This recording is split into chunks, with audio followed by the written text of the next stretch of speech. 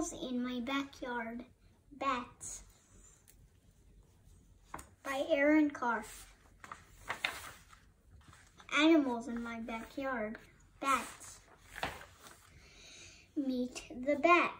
She looks like a bird, but she does not have feathers.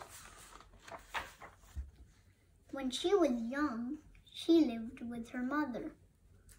With her mother, she stayed safe and learned how to fly. She has very long fingers. Her very long fingers are part of her wings. She has small hairs on her wings.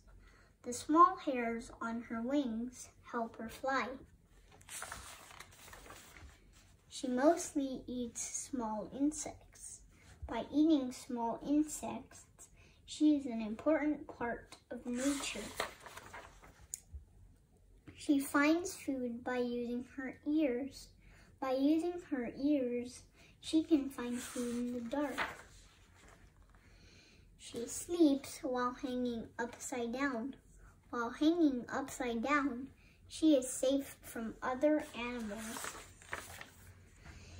She lives inside a cave. Inside a cave, there are many other bats. If you meet the bat, she may be scared. She may fly away. If you meet the bat, stay away.